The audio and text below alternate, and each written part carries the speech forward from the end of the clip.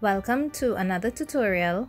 Today we'll be making a swimsuit pattern, the easiest swimsuit pattern from a bodysuit or leotard. Um, I use clothing to cut my uh, patterns because I'm self-taught in sewing. First step is to pin down the front of your leotard so that only the front is showing and you cut around it I would say to cut maybe about an inch and a half an inch inch and a half around. You always need to cut it a lot wider than the size of the actual bodysuit or leotard.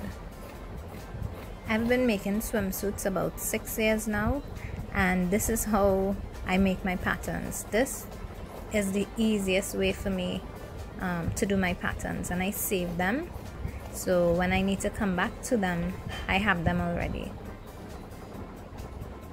It's also a good idea to label them and put what size it is. So this is a basic swimsuit pattern and for me my bodysuit is a size medium so this pattern is a size medium. It's important also to make your pattern symmetric. So both sides need to be the same and so what I do is when I'm finished cutting it well I'm so accustomed cutting that I pretty much cut very symmetric. But it's a simple case of fold it in two and trim off any ends that may not be even so that your swimsuit is the same on both sides. And this is your swimsuit pattern. It's really very simple you can make so many swimsuits from this one pattern. I will show you different ways you can cut it to get new styles. You can do a scoop neck and get a basic classic swimsuit like this one here. You can cut a V and make a deep V swimsuit. This one I added long straps and made it a wrap-around swimsuit.